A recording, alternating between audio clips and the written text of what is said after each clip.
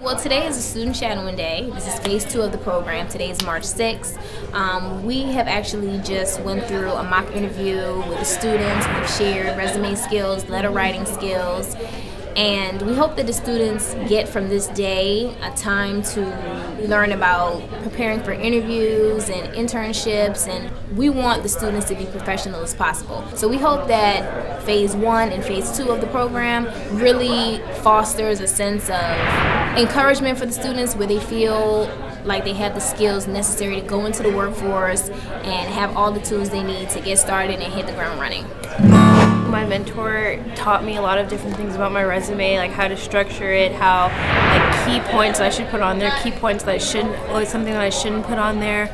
Um, we talked about um, interview process, how you should have a firm handshake, and how when you should have you should bring different copies of your resume. So if they so even if they don't actually still have it just in case, and how you should do a, um, a cover letter that, that thanks them for giving you the opportunity to apply. And then she talked about how you should always have eye contact, um, different important skills. I think it's a good day. I think the students will take a lot of positive information back with them and a very positive um, viewpoint of the SEC in general, and the fact that the professional staff were willing to invest in them, invest in their path, their career path, and their education thus far. And hopefully, hopefully we'll see some of them come back to the SEC and look to advance their career development here with us.